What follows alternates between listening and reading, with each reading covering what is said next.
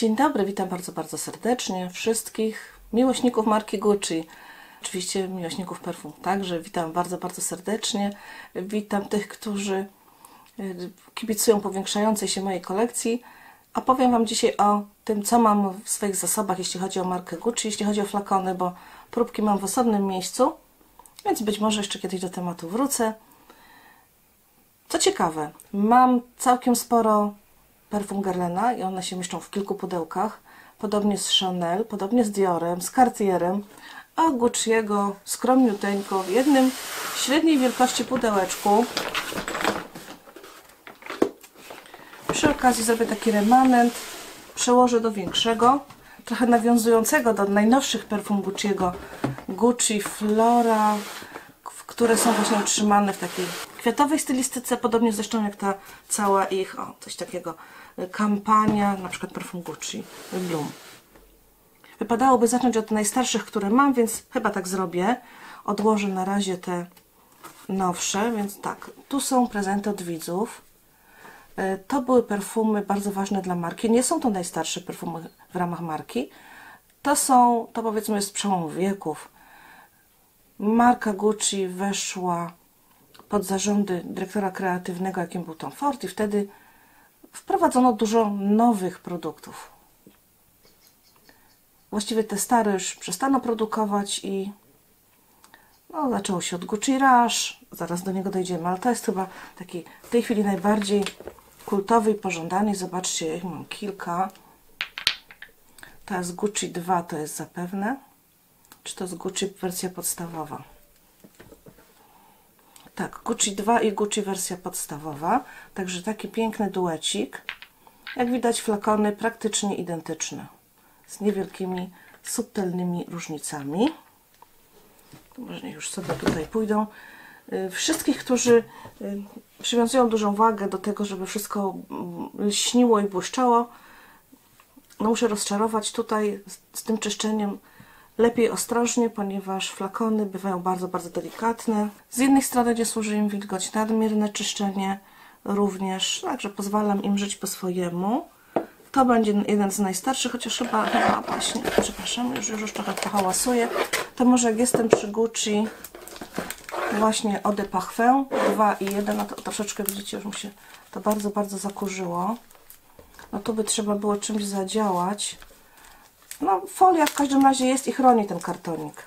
Tu jest kartonik, nie chcę go wyjmować, ponieważ no zaraz Wam pokażę, nie chcę wyjmować folii, ponieważ ona no, jest potrzebna. Kartonik wygląda doskonale, jak widzicie, o, mogę tyle wysunąć. Także jest w znakomitej formie. I teraz jeszcze Wam pokażę mniejszą wersję, bodajże 30 ml Gucci Eau de Parfum. No marka Gucci wtedy dbała o dziennikarzy, o publicystów, dawała po prostu produkty do zrecenzowania. Teraz jakoś właśnie jest nowy marketing, teraz się stawia na influencerów i oni tam wyrażają opinię. Natomiast już taka recenzja jako taka, widzę, że to nie bardzo jest, y, no, chyba nikt tego nie chce. Szkoda, bo śmiało mogłoby to być wielu ludzi lubi recenzje i czeka na nie.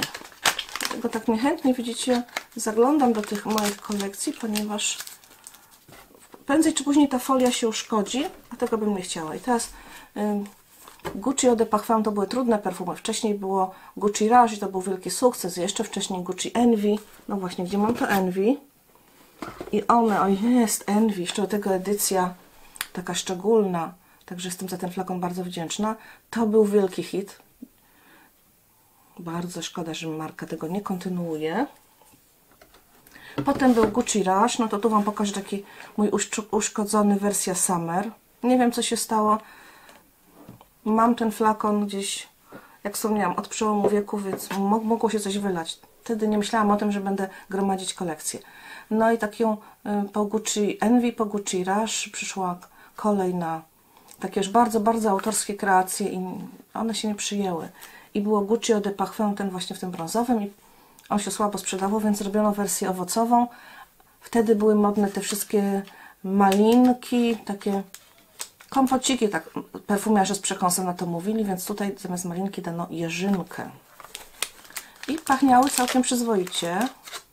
Tutaj już widzicie y, folia uszkodzona. Jak macie dla mnie jakieś sugestie, jak chronić, także jest soczek, jest co trzeba. Gucci Eau de Parfum 2. Ambitne owoce, ale nie trudne, bo perfumy ambitne niestety często miewają ten taki trudno akceptowalny jakiś rys. Także tak to wygląda. Chowam do pudełeczka. To będzie z tych starszych, to już jest Gucci Guilty. To jeszcze Wam pokażę Gucci Rush, skoro o nim mówię. Nie mam tych wcześniejszych z lat 80. Gucci Accenti i tym podobne. Gucci Rush. Bardzo rozpoznawalny akord. Wszędzie był obecny swego czasu. Rush 2. Jeszcze ciekawsza kompozycja owocowa. No tak. Miniatureczka. Ups. Także tak wygląda opakowanie. Czasami robię takie czyszczenie tych chusteczkami do pielęgnacji y, niemowląt, takimi mokrymi chusteczkami. Ale też zawsze to robię z duszą na ramieniu, bo to zawsze jest ingerencja, tam są zawsze jakieś środki chemiczne. No i tu jest zniszczone opakowanie, niestety. Coś się na to wylało. Czyżby to przeciekało, może leżało. Tak by wyglądało, że tam jakiś zaciek był. No szkoda. Ups. Także to są najstarsze z mojej kolekcji. Tak, nie mam starszych. Jeszcze zaglądam. Aha, było jeszcze, przepraszam, jeszcze mam jedno. Gucci de Parfum, to chyba już od kogoś. Będzie pusty w środku, jeśli dobrze pamiętam. No brawo, że komuś się chciało pilnować y, kartonika i flakonika. Także super. Także dwa. Są, nic nie wyjechało, wszystko u mnie jest i właściwie nie traktuję tego jako moje produkty, tylko jako produkty dla muzeum potencjalnego. Tak, i tu inaczej wygląda kartonik z tyłu. Hmm. Jakaś odmiana, może później powstał produkt. Ach, bardzo ważne perfumy. Oczywiście męska edycja Gucci Eau de Parfum. One są troszeczkę zniszczone, bo jak wspomniałam, ponad dwie dekady temu nie planowałam gromadzenia kolekcji, tam komuś wypożyczałam. Może ktoś trochę uszkodził, nie wiem. Trochę ten korek jest taki popękany. Także to też jest kultowy produkt, też bardzo, bardzo zakurzony. A przez to właśnie, że jest popękany, szkoda mi tu jakby koło niego działać, jak widzicie, jakąś substancją, tu nad już farba odchodzi. Bardzo, bardzo żałuję. Dziwne, że to popękało. Ładny, ciężki flakon, y, korek, ale niestety spękana powierzchnia. Po prostu pachnie jak perfumy niszowe. Bardzo odważna kreacja, ale właśnie co ciekawe, wprowadzenie linii Eau de Parfum zbiegło się z tym, że Tom Ford odszedł z firmy Gucci.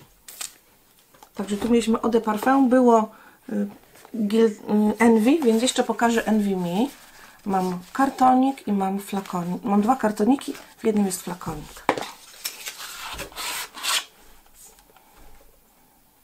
To jest po prostu zapach taki jak ten środeczek. Różowy, taki no dziewczyński powiedziałabym. Także Gucci Envy Me. To jest flanker. I jeszcze chyba bym za wcześnie się zdeklarowała, że a jeszcze jest Gucci. Mam Envy. Hmm. Nie wiem, co mam. Rzeczywiście ktoś mi ostatnio zwrócił uwagę, że powinnam mieć no już taki katalog. No właśnie. Robi się, cały czas się robi. Ale to trzeba przysiąść fałdów. Jak w zimie tego nie zrobię, to nie wiem, kiedy zrobię. I okazuje się, że jeszcze mam dwa. Gucci de Parfum. I znowu Gucci de Parfum i Gucci de Parfum 2, 30 ml. W jednym nawet jest trochę soczku. Także to są naprawdę mega rarytasy. Jestem za nie bardzo, bardzo wdzięczna. No i co tam jeszcze z tego Gucci'ego? Potem po odejściu Toma Forda tam się bardzo dużo działo, dużo się zmieniało. Postawili moim zdaniem na takie perfumy przewidywalne. To były wdzięczne kompozycje, ale one nie przewracały świata perfumowego do góry nogami. Za to pozyskały dla marki, jak sądzę dla świata perfum, dużo młodych duszyczek. Bo na przykład Julia Wieniawa pokazywała na jednym y, z najwcześniejszych postów na swoim Instagramie e, Gucci Gorgeous Gardenia. Także jeszcze, to, to są dwa, cztery. Jeszcze zobaczę, co mam. Jeszcze jest jeden.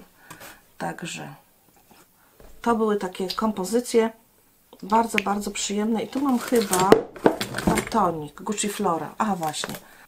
Także tu mam kartonik, pewnie od któregoś z tych to zrobię kiedyś przy okazji porządek, czyli jeszcze jeden piąty flakonik. Bardzo ważnym etapem w dziejach marki było pojawienie się Gucci Guilty. Ja tu mam tester. I cała rzesza flankerów. Przyznam się szczerze, że nie mam za dobrze przepracowanej tej linii Gucci Guilty. No, jakoś tak dużo jest, za dużo jest perfum na rynku, żeby nawet mimochodem i niechcący wszystko ładnie przeanalizować. Tu będzie chyba jeszcze jeden kartonik po Gucci Guilty Intense. Tak, Gucci Guilty Intense. Chowamy kartoniki. Można powiedzieć, że Gucci reaktywował Eau de Parfum. I właśnie to są takie perfumy. Jest wersja, też ma flankery, jest wersja udowa, ale one wszystkie są po prostu, to nie są perfumy, które poszukują, które wskazują nowe rewiry perfumowe. Takie pewniaki do zarabiania pieniędzy. I teraz Wam pokażę dwa produkty, które rzeczywiście miały ambicje być czymś nowym i były. To jest Gucci Guilty i pojawił się flanker. On zasługiwał po prostu na to, żeby być osobnym produktem. Gucci Guilty Absolu to jest takie drewno do kwadratu, bardziej nawet, do potęgi entej. Dziwny, cierpki, nawet dość eksperymentalny i za to powiedzmy brawo, że marka była odważna, ale wydaje mi się, że reklama tak troszeczkę w błąd wprowadzała, czy powiedzmy jakby informacja towarzysząca tym perfumom, że takie wspaniałe, takie ładne. Właśnie nie, zawsze tutaj trzeba było zaznaczyć, że to trochę trudniejszy zapach. No i takimi perfumami przełomowymi, ja tu mam flanker, to jest Gucci Bloom Aqua di Fiori, to jest stosunkowo nowa rzecz, więc Gucci Bloom było rzeczywiście kompozycją nowatorską, podobało się. Aqua di Fiori i Nettare di Fiori. Czy to jest wielki hit, to może niech się wypowie ktoś, kto jest blisko marki. To mam wrażenie, że podoba się, ale chyba nie wywrócił świata perfum do góry nogami. Tak mi się wydaje. To by było na tyle. Jak widzicie, nie jest to jakaś szczególnie duża kolekcja, ale całkiem sporo mam unikatów właśnie związanych z tym okresem, gdzie marce rządził Tom Ford. Aha, jeszcze właśnie. No właśnie, to jest Gucci Bloom, ta wersja podstawowa. Dość dużo było w internecie u influencerów tego produktu pokazywano. Jeśli macie jakieś uwagi, sugestie, na co zwrócić uwagę, to oczywiście czekam na Wasze opinie i komentarze. Dziękuję za uwagę. Wszystkiego pachnącego. Pa, pa.